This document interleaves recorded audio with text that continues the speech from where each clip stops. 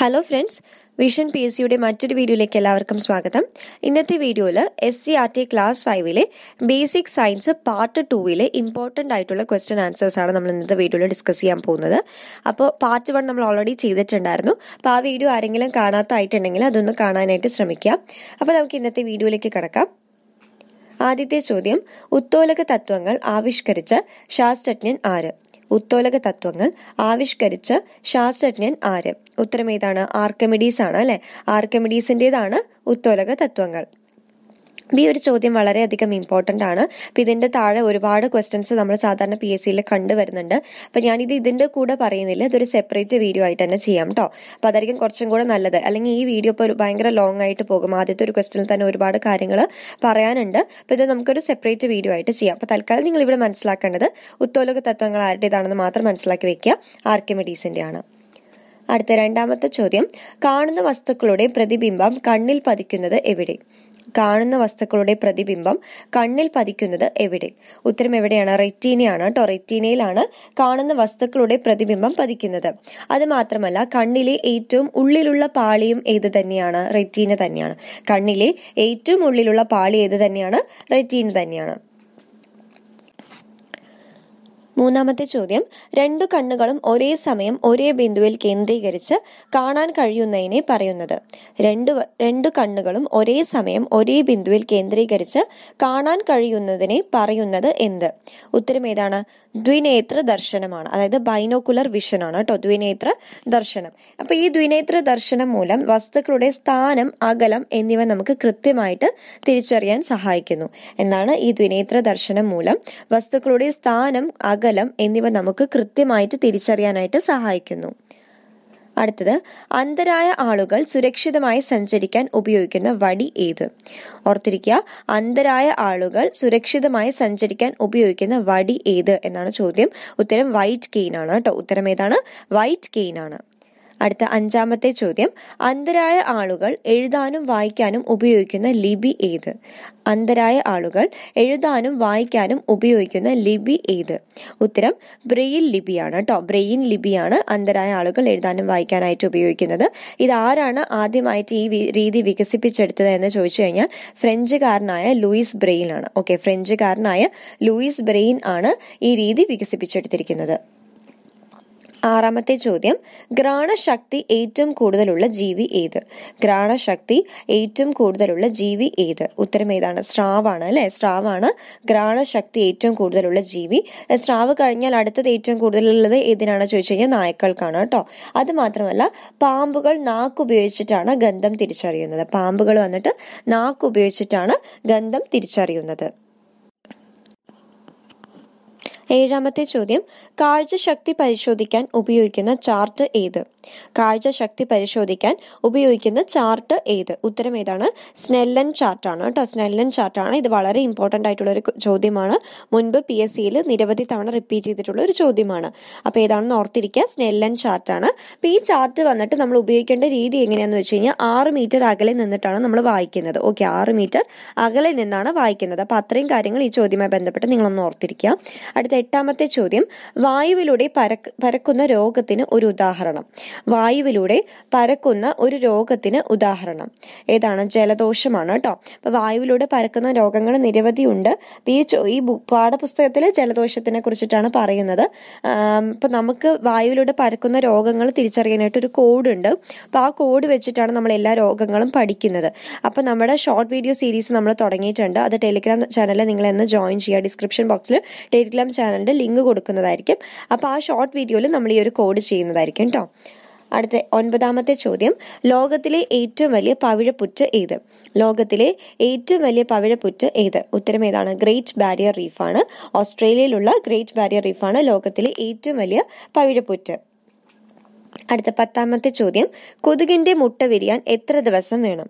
കൊതുകിന്റെ മുട്ട വിരിയാൻ എത്ര ദിവസം വേണം? ഉത്തരം ഏതാണ്? എട്ട് ദിവസമാണ് കേട്ടോ കൊതുകിന്റെ മുട്ട വിരിയാനായിട്ട് എട്ട് ദിവസമാണ് വേണ്ടത്. പിന്നെ ഈ ഡ്രൈ ഡേ ആചരണം എന്താണെന്നും കൂടെ ഓർത്തിരിക്കുക. പാഠപുസ്തകത്തിൽ വിശദീകരിച്ച് കൊടുത്തിട്ടുണ്ട്. അപ്പൊ നിങ്ങൾ ഈ ഒരു പോയിന്റും കൂടെ ഓർത്തിരിക്കുക. ഡ്രൈ ഡേ ആചരണം എന്താണെന്നും കൂടെ ഓർത്തിരിക്കുക. അതായത് ഈ കൊതുക് മൂലം പരക്കുന്ന രോഗങ്ങളുടെ നിയന്ത്രണത്തിന് വേണ്ടിയിട്ടാണ് നമ്മൾ ഡ്രൈ ഡേ ആചരണം നടത്തുന്നത്. അതായത് ഇപ്പോൾ കൊതുക് മുട്ടയിടാൻ സാധ്യതയുള്ള ചിരട്ടകൾ കളിപ്പാട്ടങ്ങൾ പിന്നെ പ്ലാസ്റ്റിക് പാത്രങ്ങൾ ഇവയിലൊക്കെ വെള്ളം കെട്ടി നിൽക്കുന്നുണ്ടാവും അല്ലേ? അപ്പോൾ ഈ വെള്ളം കെട്ടി നിൽക്കുന്നത് ആഴ്ചയിൽ ഒരിക്കൽ ഒഴിവാ ഒഴിവാക്കി കളയുന്ന ഈ ഒരു പ്രോസസ്സിന് പറയുന്നതാണ് ഡ്രൈ ഡേ ആചരണം എന്നുള്ളത്. നമ്മളോട് ഇങ്ങനെയായിരിക്കും ചിലപ്പോൾ ചോദിക്കുക ഈ ഡ്രൈ ഡേ ആചരണം ഏതുമായിട്ട് ബന്ധപ്പെട്ടിരിക്കുന്നു? എന്ന് ചോദിച്ചു കഴിഞ്ഞാൽ ഏതുമായിട്ട് ബന്ധപ്പെട്ടിരിക്കുന്നു? കൊതുകുമായിട്ട് ബന്ധപ്പെട്ടിരിക്കുന്നു കേട്ടോ. അടുത്ത ചോദ്യം. കപ്പലുകളിൽ നിന്നും ഉണ്ടാക്കുന്ന മാലിന്യങ്ങൾ തടയാനായി കണ്ടുപിടിച്ച ബാക്ടീരിയ. കപ്പലുകളിൽ നിന്ന് ഉണ്ടാകുന്ന മാലിന്യങ്ങൾ തടയാനായി കണ്ടുപിടിച്ച ബാക്ടീരിയ ഏത്? ഉത്തരം ഏതാണ്? സൂപ്പർ ബഗ് ആണ് കേട്ടോ. സൂപ്പർ ബഗ് ആണ് കപ്പലുകളിൽ നിന്നുണ്ടാകുന്ന മാലിന്യങ്ങൾ തടയുന്നതിനായിട്ട് കണ്ടുപിടിച്ച ബാക്ടീരിയ. ഇത് കണ്ടുപിടിച്ച വ്യക്തിയുടെ പേര് കൂടെ നിങ്ങൾ ഓർത്തിരിക്കുക. ആനന്ദ് മോഹൻ ചക്രവർത്തിയാണ് കേട്ടോ. ഇന്ത്യൻ വംശജനായ ആനന്ദ് മോഹൻ ചക്രവർത്തിയാണ് എന്ത് ചെയ്തിരിക്കുന്നത്? ജനിതക എഞ്ചിനീയറിംഗിലൂടെ ഈ ഒരു രീതി വികസിപ്പിച്ചെടുത്തിരിക്കുന്നത്. ഓർത്തിരിക്കുക ആനന്ദ് മോഹൻ ചക്രവർത്തി. പിന്നെ ഈ ഒരു ബാക്ടീരിയയുടെ പേര് കൂടെ നിങ്ങൾ ഓർത്തിരിക്കുക. സൂപ്പർ ബഗ് ആണ് അടുത്ത പന്ത്രണ്ടാമത്തെ ചോദ്യം. ബഹിരാകാശത്ത് ഭൂമിയുടെ ഏറ്റവും അടുത്തുള്ള ആകാശഗോളം ഏത്? ബഹിരാകാശത്ത് ഭൂമിയുടെ ഏറ്റവും അടുത്തുള്ള ആകാശഗോളം ഏത്? ഉത്തരം ഏതാണ്? ചന്ദ്രനാണ് കേട്ടോ. അടുത്ത പതിമൂന്നാമത്തെ ചോദ്യം. ആദ്യത്തെ ബഹിരാകാശ സഞ്ചാരി ആര്? ആദ്യത്തെ ബഹിരാകാശ സഞ്ചാരി ആര്? ഉത്തരം യൂറി ഗഗാറിനാണ്. ഇത് നമുക്കറിയാം ഒരുപാട് തവണ പി എസ് സിയിൽ റിപ്പീറ്റ് ചെയ്തിരിക്കുന്ന ചോദ്യമാണ്. ആദ്യത്തെ ബഹിരാകാശ സഞ്ചാരി എന്നുള്ളത് അത് യൂറി ഗഗാറിനാണ്. അപ്പൊ ഇദ്ദേഹം എപ്പോഴാണ് പോയതെന്നും കൂടെ നിങ്ങൾ ഓർത്തിരിക്കുക.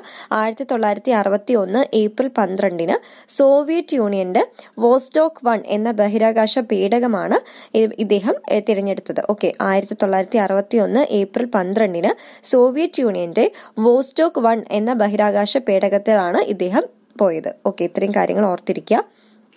അടുത്ത പതിനാലാമത്തെ ചോദ്യം. ആദ്യത്തെ കൃത്രിമ ഉപഗ്രഹം ഏത്?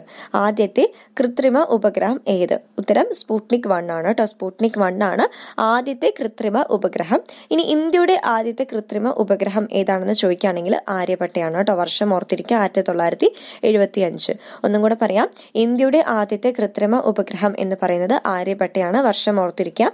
ആയിരത്തി തൊള്ളായിരത്തി എഴുപത്തി അഞ്ച് അടുത്ത പതിനഞ്ചാമത്തെ ചോദ്യം. മനുഷ്യ നിർമ്മിത റോക്കറ്റിൽ ഏറ്റവും വലുത് ഏത്? മനുഷ്യൻ നിർമ്മിച്ച റോക്കറ്റിൽ തന്നെ ഏറ്റവും വലുത് ഏത്? ഉത്തരം സാറ്റേൺ ഫൈവ് ആണ്. ഉത്തരം ഏതാണ്? സാറ്റേൺ ഫൈവ് ആണ്. ഇത് അമേരിക്കയുടേതാണ് കേട്ടോ. അതും കൂടെ ഓർത്തിരിക്കുക. അടുത്ത പതിനാറാമത്തെ ചോദ്യം. ബഹിരാകാശ യാത്ര നടത്തിയ ആദ്യ ഇന്ത്യൻ വംശജൻ. ബഹിരാകാശ യാത്ര നടത്തിയ ആദ്യ ഇന്ത്യൻ വംശജൻ ആര്? ഉത്തരം രാകേഷ് ശർമ്മയാണ് കേട്ടോ. ഉത്തരം ഏതാണ്? രാകേഷ് ശർമ്മ. പതിനേഴാമത്തെ ചോദ്യം. കൊളംബിയ സ്പേസ് ഷട്ടിൽ അപകടത്തെ തുടർന്ന് മരണമടഞ്ഞ ബഹിരാകാശ യാത്രിക ആര്? ഉത്തരം കൽപ്പന ചൗളയാണ് കേട്ടോ ഓർത്തിരിക്കുക കൊളംബിയ സ്പേസ് ഷട്ടിൽ അപകടത്തെ തുടർന്ന് മരണമടഞ്ഞ ബഹിരാകാശ യാത്രികയാണ് കൽപ്പന ചൗള.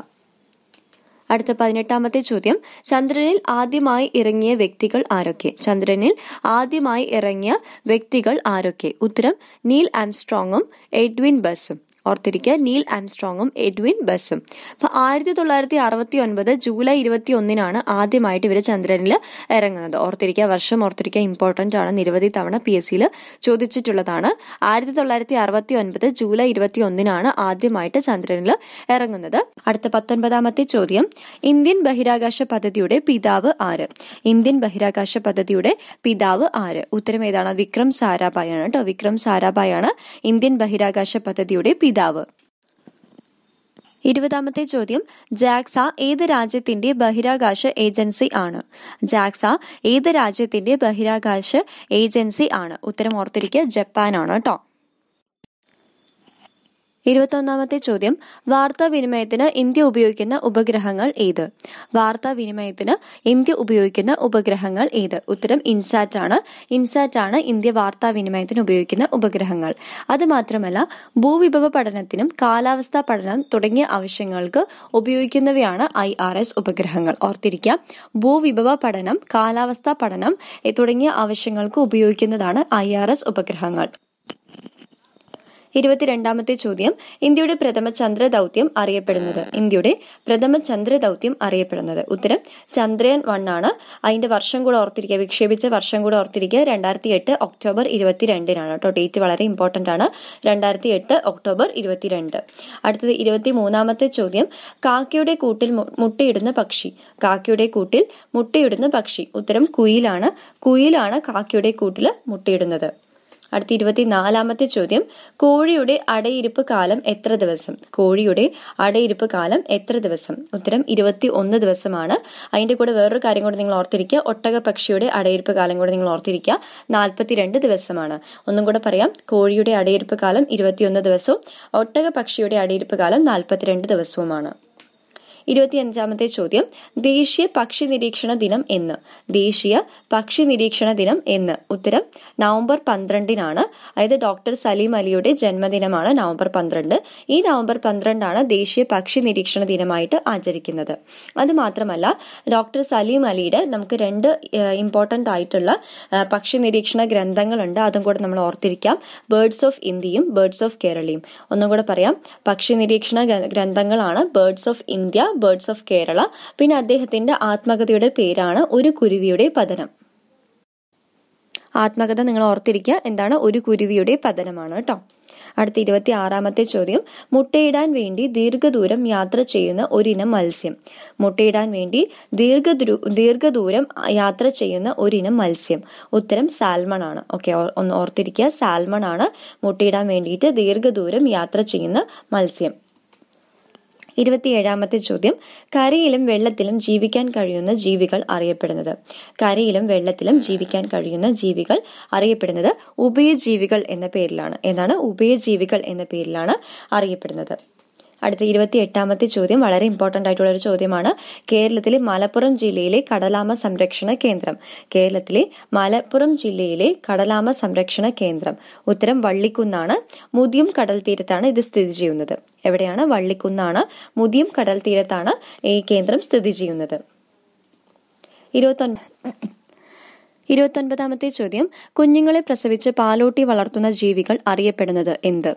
കുഞ്ഞുങ്ങളെ പ്രസവിച്ച് പാലോട്ടി വളർത്തുന്ന ജീവികൾ അറിയപ്പെടുന്നത്. ഉത്തരം സസ്തനികളാണ്. ഇത് മാത്രമല്ല മുട്ടയിടുന്ന സസ്തനികളുണ്ട്. അത് ഓർത്തു വെക്കുക പ്ലാറ്റിപ്പസും എക്കിഡ്നിയുമാണ് കേട്ടോ. പ്ലാറ്റിപ്പസും എക്കിഡ്നിയുമാണ് മുട്ടയിടുന്ന സസ്തനികൾ. പറക്കുന്ന സസ്തനിയാണ് വവ്വാൽ. ഓർത്തിരിക്കുക ഇത്രയും കാര്യങ്ങൾ. മുട്ടയിടുന്ന സസ്തനികളാണ് പ്ലാറ്റിപ്പസും എക്കിഡ്നിയും. പറക്കുന്ന സസ്തനിയാണ് വവ്വാൽ. മുപ്പതാമത്തെ ചോദ്യം. പ്രസവിക്കുന്ന അച്ഛൻ എന്നറിയപ്പെടുന്ന മത്സ്യം. പ്രസവിക്കുന്ന അച്ഛൻ എന്നറിയപ്പെടുന്ന മത്സ്യം കടൽ കുതിരയാണ് കേട്ടോ. അടുത്ത മുപ്പത്തി ഒന്നാമത്തെ ചോദ്യം. പ്രസവിക്കുന്ന പാമ്പ് എന്നറിയപ്പെടുന്നത് അണലിയാണ്. പ്രസവിക്കുന്ന പാമ്പ് എന്നറിയപ്പെടുന്നത് ഏതാണ്? അണലിയാണ്. അപ്പൊ നമ്മൾ രണ്ട് ചോദ്യമാണ് പഠിച്ചത്. പ്രസവിക്കുന്ന അച്ഛൻ എന്നറിയപ്പെടുന്നത് കടൽ കുതിരയും പ്രസവിക്കുന്ന പാമ്പ് എന്നറിയപ്പെടുന്നത് അണലിയുമാണ്. മുപ്പത്തിരണ്ടാമത്തെ ചോദ്യം. ലോകത്തിലെ ഏറ്റവും വലിയ പവിഴപ്പുറ്റ് ഏത്? ലോകത്തിലെ ഏറ്റവും വലിയ പവിഴപ്പുറ്റ് ഏത്? നമ്മൾ നേരത്തെ നോക്കിയ ഒരു ക്വസ്റ്റ്യൻ തന്നെയാണ്. ഏതാണ്? ഗ്രേറ്റ് ബാരിയർ റീഫാണ് ഓസ്ട്രേലിയയിലത്തെ ഗ്രേറ്റ് ബാരിയർ റീഫാണ് ലോകത്തിലെ ഏറ്റവും വലിയ പവിഴപ്പുറ്റ്. അതായത് ഇവയെ സംരക്ഷിക്കുന്നതിന്റെ പ്രാധാന്യം ബോധ്യപ്പെടുത്തുന്നതിനായിട്ട് ആയിരത്തി തൊള്ളായിരത്തി തൊണ്ണൂറ്റി ഏഴിലും രണ്ടായിരത്തി എട്ടിലും എന്നീ വർഷങ്ങൾ പവിഴപ്പുറ്റ് വർഷമായിട്ട് ആചരിച്ചിട്ടുണ്ടായിരുന്നു. ഒന്നും കൂടെ പറയാം. അതായത് ഇവരുടെ സംരക്ഷിക്കുന്നതിന്റെ പ്രാധാന്യം ബോധ്യപ്പെടുത്തുന്നതിനായിട്ട് ആയിരത്തി തൊള്ളായിരത്തി തൊണ്ണൂറ്റി ഏഴിലും രണ്ടായിരത്തി എട്ടിലും പവിഴപ്പുറ്റ് വർഷങ്ങളായിട്ട് ആചരിച്ചിട്ടുണ്ടായിരുന്നു. അപ്പോൾ നമ്മുടെ ഇന്നത്തെ ചോദ്യം ഇവിടെ അവസാനിച്ചിരിക്കുകയാണ്. അപ്പോൾ വീഡിയോ ഇഷ്ടപ്പെടുകയാണെങ്കിൽ ലൈക്ക് ചെയ്യുക ഷെയർ ചെയ്യുക. മാത്രമല്ല നിങ്ങളുടെ ഈ വീഡിയോനെ കുറിച്ചിട്ടുള്ള വിലയേറിയ നിർദ്ദേശങ്ങൾ നിങ്ങൾ എന്ത് ചെയ്യുക കമന്റ് ബോക്സിൽ രേഖപ്പെടുത്തുക. നിങ്ങൾ എന്തെങ്കിലും കൂടുതൽ ടോപ്പിക്സ് ഇൻക്ലൂഡ് ചെയ്യണമെന്നുണ്ടെങ്കിൽ അതും കൂടെ നിങ്ങൾ കമന്റ് ബോക്സിനകത്ത് പറയുക. അപ്പോൾ ഈ വീഡിയോ ഇഷ്ടമാകുകയാണെങ്കിൽ ലൈക്ക് ചെയ്യുക. താങ്ക്